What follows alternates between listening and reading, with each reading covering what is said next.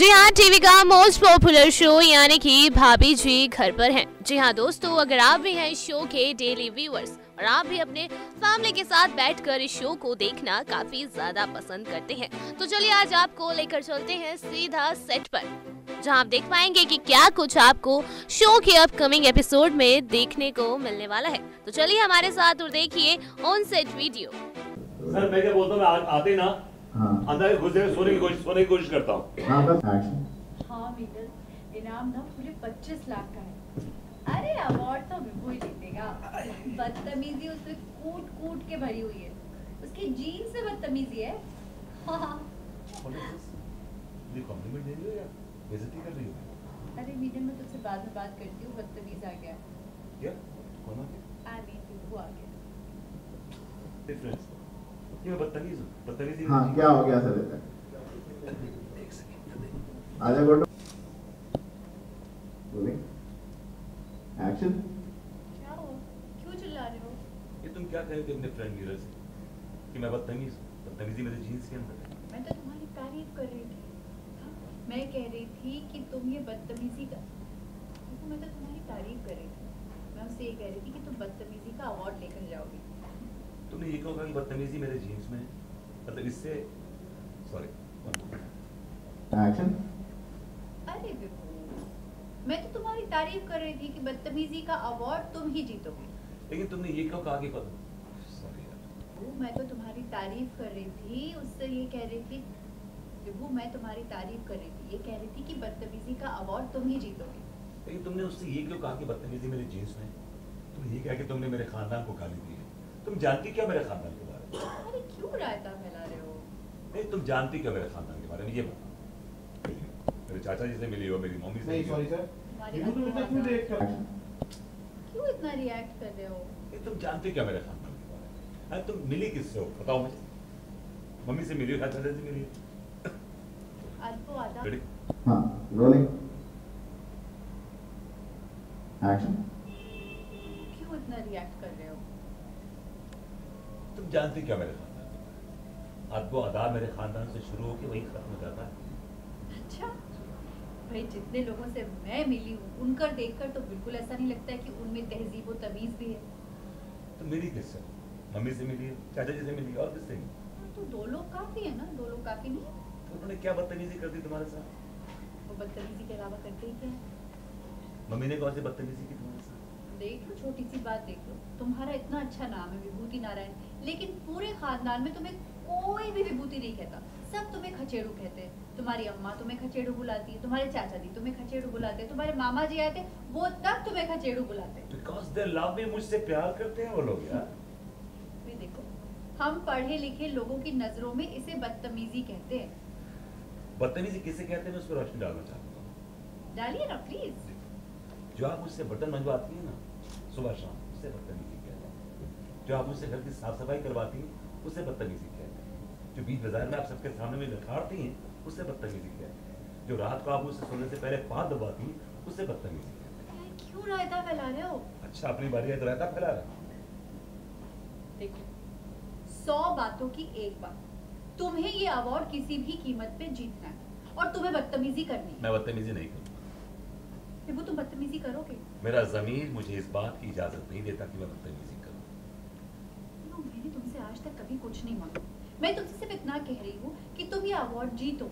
तुम इतनी बदतमीजी करो कि हम अमीर हो हाँ जाए मैंने आज तक तुमसे कुछ नहीं मांगा। रोलिंग एक्शन देखो मैंने तुमसे देखो मैंने तुमसे आज तक कुछ नहीं मांगा। मैं तुमसे सिर्फ़ इतना मांग रही हूँ कि तुम ये अवार्ड जीत जाओ। तुम इतनी बदतमीजी करो इतनी बदतमीजी करो कि हम अमीर हो जाए। मैं बदतमीजी नहीं करूँ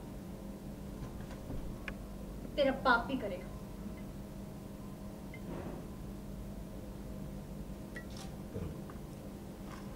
गुड नाइट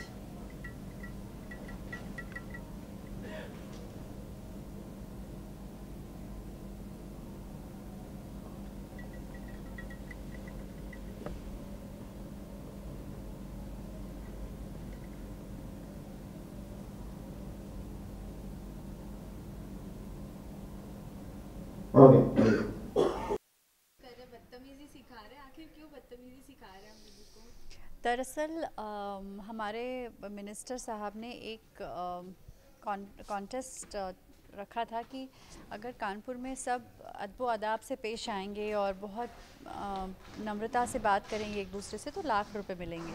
उतने में सक्सेना और सक्सेना के अंकल आते हैं और कहते हैं कि ये सब लोग जो आए हुए हैं, ये सब झूठे लोग हैं, सिर्फ़ कॉन्टेस्ट के लिए अच्छे से बात करते हैं। दरअसल ये लोग सिर्फ़ पैसों के लिए आए हुए हैं। और प्रूव करने के लिए वो क्या कहते हैं कि जो अगर आप बदतम, जो सबसे ज़्यादा बदतमीज़ होगा, उसे पच्चीस लाख रुपए मिलेंगे। तो आप जितने भी हमारे मॉडर्न कॉलोनी में हैं, मैं, विभू और तिवारी और सब लोग, हम लोग अंगूरी, सब लोग बदतमीज़ी कर रहे हैं। और सबको पता है कि जैसे वो सक्सेना और सक्सेना के अंकल आ जाते हैं खिड़की के ऊपर, हम चालू कर देते हैं बदतमीज़ी करना।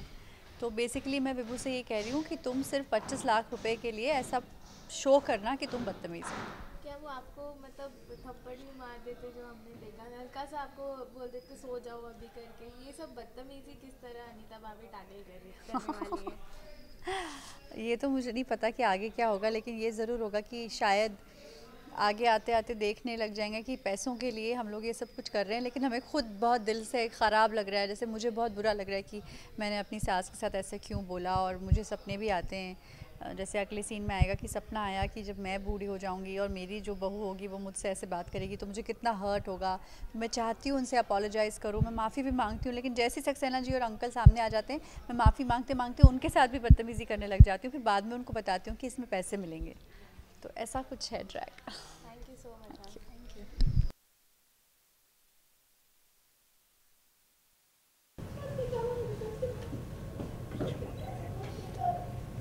hello hello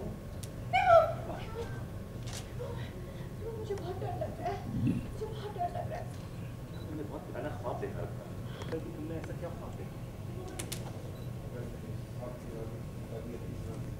क्लोज करते हैं समझने का वॉइस ओवर रोलिंग हाँ मैम इधर एक बाल आए आपको यहाँ से लेते टू एक्शन अरे भाई क्या ख्वाब देख लिया तुमने? मैंने ख्वाब में देखा कि मम्मी जी हम सबको छोड़कर हिमालय चली गई हैं। और ये देख के तुम्हारी चीख निकल गई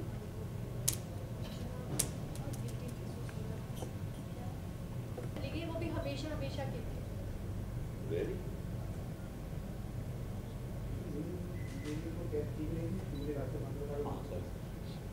हिमालय चली गई वो भी हमेशा हमेशा के लिए। नीना तुम कह रही थी कि मुझे घर से मत निकालो मुझे घर से मत निकालो ये मेरा घर है। अरे मेरे को फिर नींद में थी ना वो नींद में मैं क्या कह रही थी? तो समझ में थोड़ी ना आता है। होश में नहीं होता इंसान। अब तो मेरी बात सुनो मैं क्या आप कह रही सुना। थी। वो कहा मैं उनके साथ ऐसे पेश आई। और वो मेरी वजह से घर छोड़कर चली गई हमारी बुज़ुर्ग, अगर वो हमें दो चार बातें सुना भी देती हैं तो हम बिना वो छोटे हो जाते हैं। कि वो हाँ एक सेकंड साउंड। बस। मुझे बहुत बुरा लग रहा है मुझे दिल से बुरा लग रहा है कि वो मेरी वजह से घर छोड़कर चली गई हैं। तुम उन्हें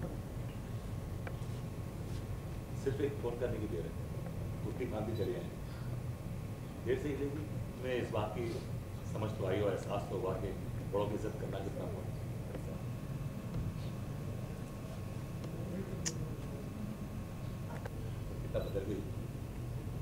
खुश हूँ? हाँ यहाँ से लेते मतलब कितना बदल गई? कितना अच्छा लगेगा वेरी नाइस बुला लो मेरा बोला नहीं पास बस यहाँ होना फ़ंक्शन जाना ना वो अपना वो तहजीब वाला जो था हमारा